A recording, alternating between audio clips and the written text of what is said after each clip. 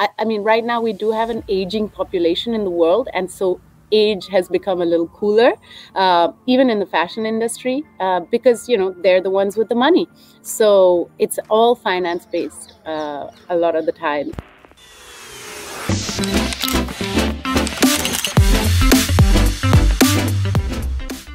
Most of the time, we expect people to look a certain way, behave a certain way, but you carved your own space in the film industry um, how did you get yourself there? Um, and why do you think there was acceptance uh, in an industry which otherwise prefers to have a blueprint? How did I get there? I think mostly improvisation. I didn't have a big, you know, plan. I didn't know I wanted to be an actor in Bollywood. I knew I wanted to I mean, I studied theater and I knew I wanted to act. And every step along the way, it was what was necessary for me in order to continue working, in order to continue earning money. I didn't think about, oh, I need to have a plan, like like launch myself or have this kind of role to start with or whatever it is.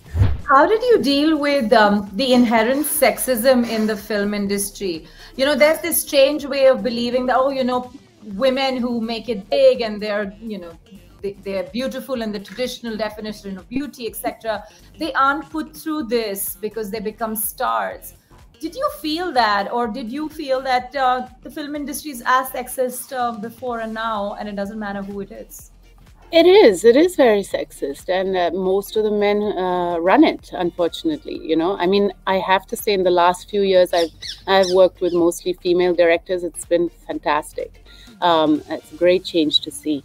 But in general, it's the men who are running the big bucks and you know mostly male directors or male crew members. And and what that comes with is a constant uh, male gaze a constant uh, being watched and looked at as a as a product. And so it's it's a funny i mean it's a, it's a tricky place to be because you do want to keep working and you do want to keep you know uh, you know continuing your career uh, at the same time you don't want to be constantly objectified. Um, so there's a balance to make. You know so I, I just want to take you back in time. Did you did you you know like women face this that uh, listen you're you're so beautiful but you're so smart right? Um, or growing up like hey you are not indian but you speak tamil. I mean like how does that even happen right?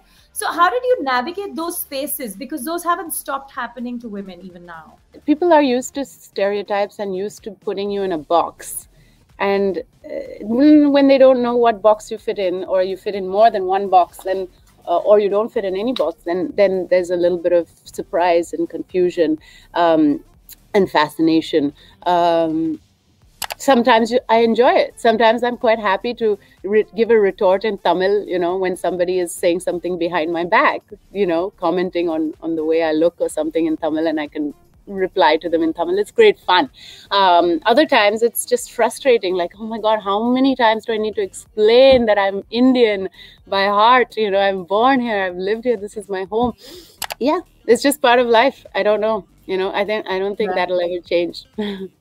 Today, the entire debate in uh, the film industry is about how um, you know two things one is accepting women as married and not looking at that as something um, that, that that kills careers and the second yeah. is, um, uh, I think that's probably a raging debate among women right now, is this obsession with ageism.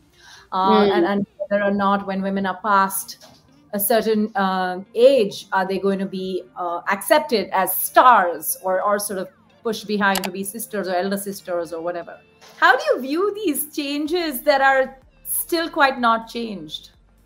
It's yeah it's again just proof of the system that's in place which is very patriarchal. It is going to change. It is changing slowly. Um, you know uh, having Neena Gupta come out with like her best work right now uh, is a sign that you know things are changing. Uh, we had that happen in Hollywood with Meryl Streep. You know, suddenly, uh, boom, have an amazing career in her later years. Um, of course, these are right now exceptions and just a few rare examples um, and that needs to become more normal and, and more common I, I mean right now we do have an aging population in the world and so age has become a little cooler, uh, even in the fashion industry, uh, because you know they're the ones with the money.